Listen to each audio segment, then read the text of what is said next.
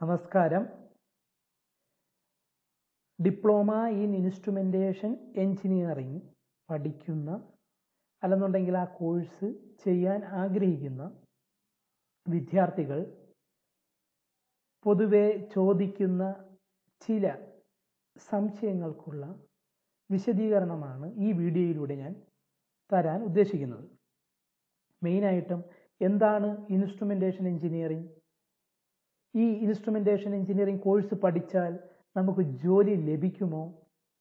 അതുപോലെ തന്നെ പെൺകുട്ടികൾക്ക് അനുയോജ്യമായ കോഴ്സാണോ ഇൻസ്ട്രുമെന്റേഷൻ എഞ്ചിനീയറിംഗ് എന്നിങ്ങനെ തുടങ്ങി ഒട്ടനവധി സംശയങ്ങൾ. പുതുതായിട്ട് മെയിനായിട്ട് പുതുതായിട്ട് അഡ്മിഷൻ എടുക്കാൻ വരുന്ന വിദ്യാർത്ഥികൾക്ക് ഉള്ള സംശയങ്ങളാണ്. അപ്പോൾ അതിന് ചെറിയൊരു വിശദീകരണം നൽകാം.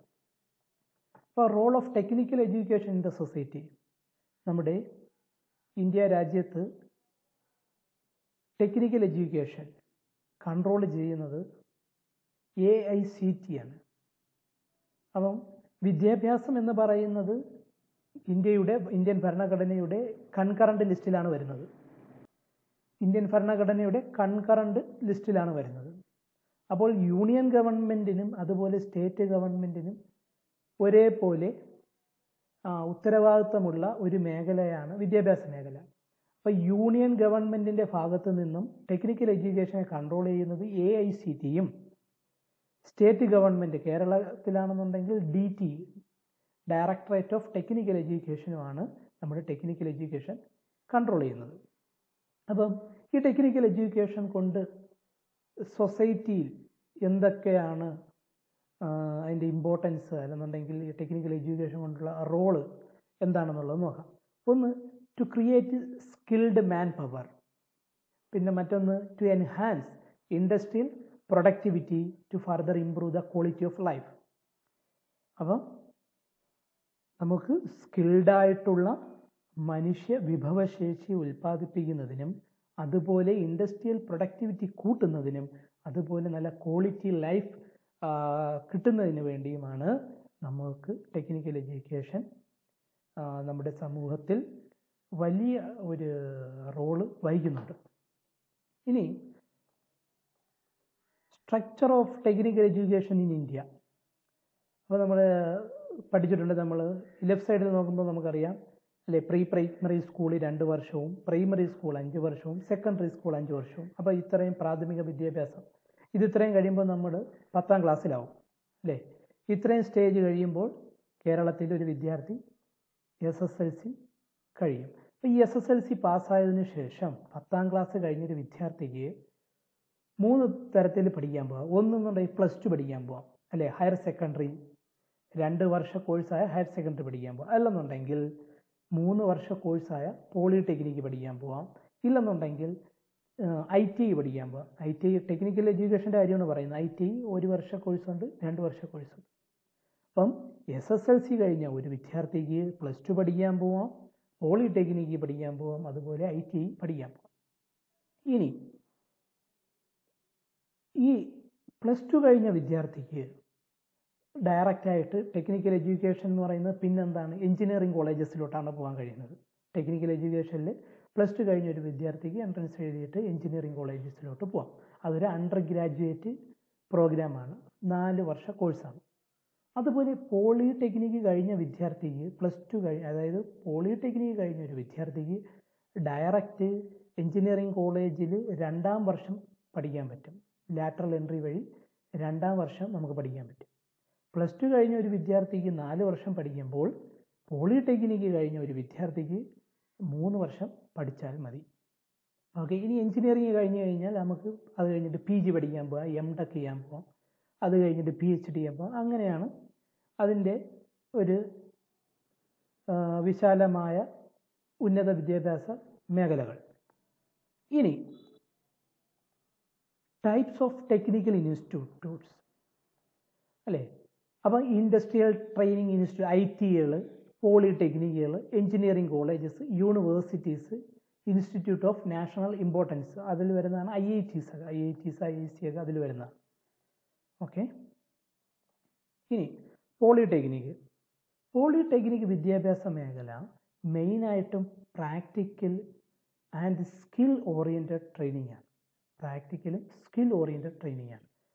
ത്രീ മൂന്ന് വർഷ കോഴ്സാണ് ത്രീ ഇയർ കോഴ്സാണ് ratio of weightage between theory and skill is approximately fifty is to fifty polytechnic വിദ്യാഭ്യാസ മേഖലയിൽ തിയറിക്ക് അൻപത് ശതമാനവും അതുപോലെ പ്രാക്ടിക്കലിന് ഏതാണ്ട് അൻപത് ശതമാനം വെയിറ്റേജിലാണ് അതിന്റെ സിലബസ് ക്രമീകരിച്ചിട്ടുള്ളത്.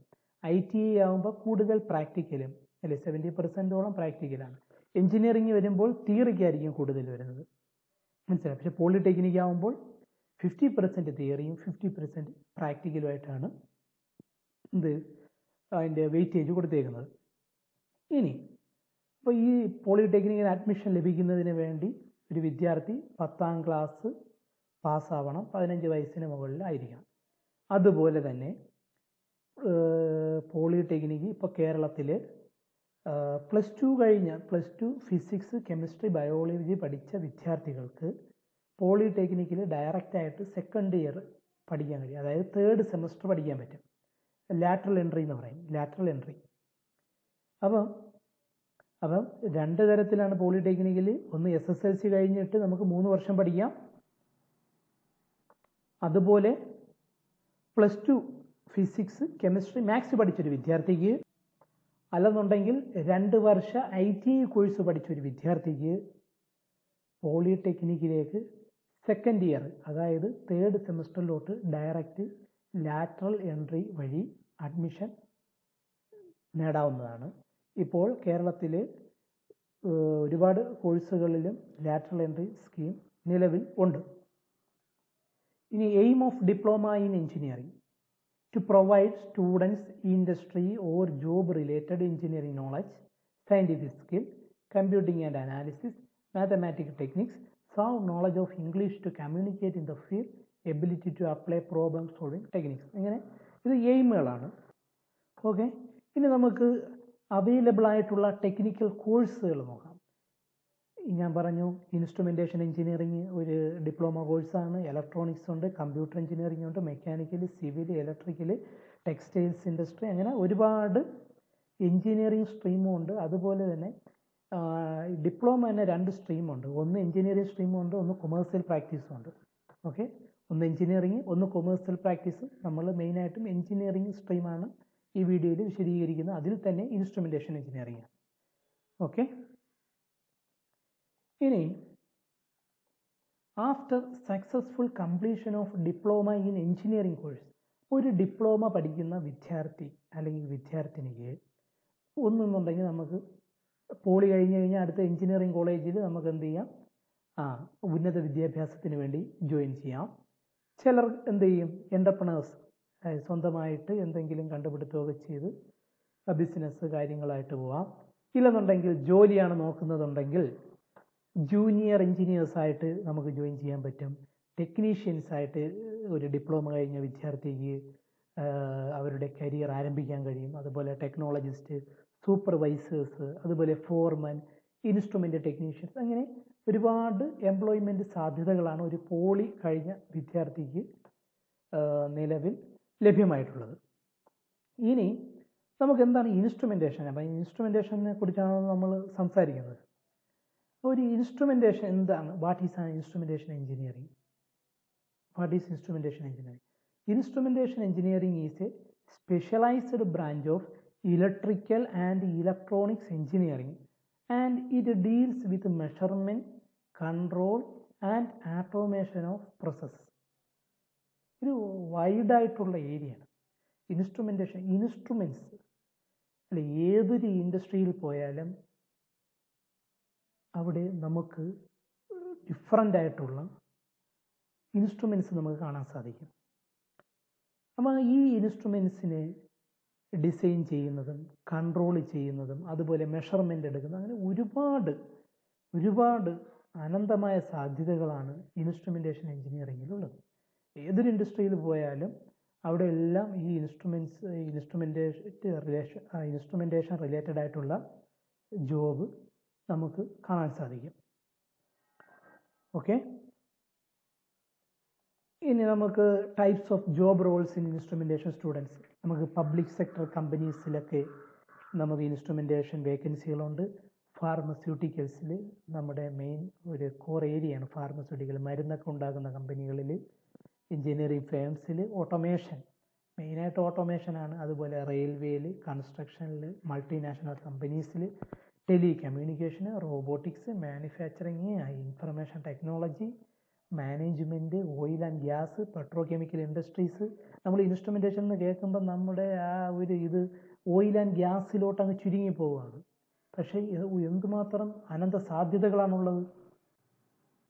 അതുപോലെ കെമിക്കൽ ഇൻഡസ്ട്രീസ് അതുപോലെ പർച്ചേസിങ് മാർക്കറ്റിങ് മാർക്കറ്റിംഗ് എന്നൊക്കെ പറയുമ്പോൾ നമ്മുടെ ഇൻസ്ട്രുമെൻസ് ഒക്കെ ഉണ്ടാക്കിയിട്ട് അതിനെ നമുക്ക് മാർക്കറ്റ് ചെയ്യാം. അതുപോലെ നമുക്ക് അതിന്റെ ബിസിനസ് ചെയ്യാം. അപ്പോൾ അങ്ങനെയൊക്കെ ഒരുപാട് സാധ്യതകളുണ്ട്. നമുക്ക് ഡിസൈൻ ചെയ്യാൻ പറ്റും. അതുപോലെ അതുകൊണ്ട് ഇൻസ്റ്റലേഷൻ ചെയ്ത് കൊടുക്കാൻ പറ്റും. അതിനെ സർവീസ് ചെയ്ത് കൊടുക്കാൻ പറ്റും. അതുപോലെ അതിനെ ബിസ് വിൽക്കാനും അതുപോലെ മാർക്കറ്റിംഗ് അങ്ങനെ ഒരുപാട് ജോലി സാധ്യതകളാണ് ഇൻസ്ട്രുമെന്റേഷനായിട്ട് ബന്ധപ്പെട്ടുള്ളത്. ഇനിയിപ്പോൾ മെയിനായിട്ട് കമ്പനികളിൽ O N G C oil and natural gas O N G C ഉണ്ട്. ബെല്ലുണ്ട് സെയിലുണ്ട് എച്ച് സി എൽ ഉണ്ട് I S R L and T ഉണ്ട് A B B Siemens GAIL ഇതെല്ലാം ഇന്ത്യയിൽ ഉള്ള ടോപ്പ് ഇൻസ്ട്രുമെന്റ് ഇൻസ്ട്രുമെന്റേഷൻ സ്റ്റുഡൻസിനെ അക്വയർ ചെയ്യുന്ന കമ്പനികളാണ്. ഇനി നമ്മുടെ ഈ കേരളത്തിലാണെന്നുണ്ടെങ്കിൽ Sree Chitra S C T ഹോസ്പിറ്റലിൽ ചെയ്യുന്നുണ്ട് ഐ ഒ സിയിൽ ബി പി സി എല്ലിൽ കൊച്ചിൻ റിഫൈനറിയിൽ ഹിന്ദുസ്ഥാൻ ലാറ്റക്സിൽ ട്രാവൻകൂർ ടൈറ്റാനിയത്തിൽ കെ എം എം എൽ അതുപോലെ ടെക്നോ പാർക്ക് ബേസ്ഡ് കമ്പനികളിൽ കൂടാതെ ഒരുപാട് ഐ ടി കമ്പനികളിലൊക്കെ ഇൻസ്ട്രുമെന്റേഷൻ എഞ്ചിനീയറിംഗ് സ്റ്റുഡൻസിനെ ഇപ്പോൾ ഇപ്പോൾ റിക്രൂട്ട് ചെയ്യുന്നുണ്ട്. അതുകൊണ്ട് ഇൻസ്ട്രുമെന്റേഷൻ എഞ്ചിനീയറിംഗ് എന്ന് പറയുന്നത് വളരെയധികം ജോലി സാധ്യതയുള്ള ഒരു കോഴ്സാണ്. അതുപോലെ ആൺകുട്ടികൾക്കും പെൺകുട്ടികൾക്കും ഒരുപോലെ ജോലി സാധ്യതയുള്ള ഒരു കോഴ്സാണ്. ഭാവിയിൽ ഒരുപാട് വേക്കൻസികൾ ഈ മേഖലയിൽ നമുക്ക് പ്രതീക്ഷിക്കാം. ഈ കോഴ്സ് ചേർന്ന് പഠിക്കുന്ന എല്ലാ വിദ്യാർത്ഥികൾക്കും എല്ലാവിധ ആശംസകളും എല്ലാവിധ ഭാവുകങ്ങളും ആശംസിക്കുന്നു. നമസ്കാരം.